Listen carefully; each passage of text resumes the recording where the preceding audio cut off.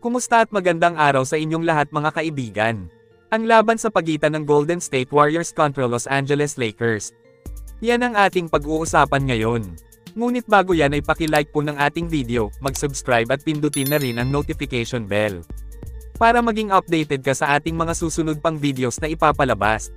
So ito na Stephen Curry versus LeBron James, magandang laban ito mga kaibigan. Starting five lineup ng Warriors ay sina Stephen Curry, Andrew Wiggins, Jonathan Kuminga, Draymond Green at Trace Jackson Davis. May laki ang gamit na starters ng Dubs kasi alam naman natin na bakulaw din sa laki mga player ng LA Lakers. Starting five nila ay sina Dilo Austin Reeves, AD LeBron James at Rui Hachimura. So sa first half ng bakbakan ay parehong nakipagsabayan ang dalawang grupo sa isa't isa mga kaibigan. Ganda ng laban iba talaga karisma nitong kinikilalang the greatest shooter Steph at the King Lebron James. Parehong may pambihirang abilidad sa paglalaro. Para sa GSW dito sa first half itong si Steph Curry, tahimik ang crowd sa ginawa niya dito. Hindi na tiningnan talagang sureball na sureball na papasok ang tira. Grabe goat shooter po talaga siya walang duda.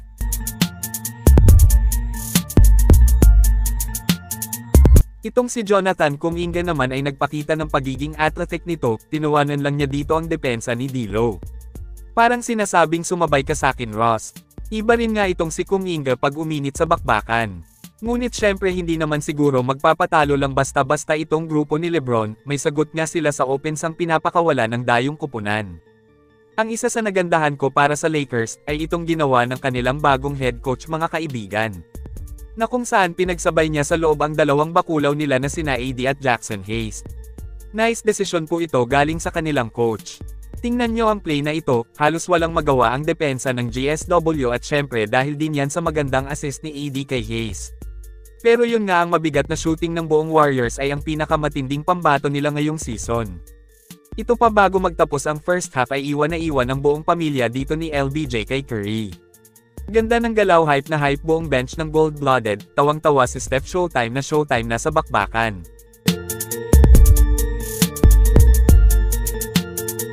Pagdating ng second half mga kaibigan, ay napanatili ng Golden State Warriors ang hawak nilang lamang. Pansin natin na nalugi nga ang Lakers, pagdating sa palitan ng mga players. Kasi talagang napakalalim ng bench ngayon ng gold-blooded. Kayang pumulbos kahit starters ng kalaban ng kaharap, hinding-hindi natitinag dyan din naiiba ang Warriors sa lahat ng team ngayon. Kasi malalim ang second unit nila, mga bench may pambihirang bitbit na malakas na opensa at depensa. Tambak na ang purple and gold sa GSW dito. Binugbog ang kalaban sa mismong balwarte nila.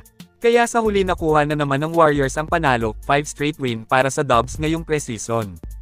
Nananatiling undefeated ang samahan. Kayo mga kaibigan ano ang masasabi nyo sa naging laban ng Golden State Warriors versus Los Angeles Lakers? E-comment lang po yan sa ibaba at akin pong babasahin yan.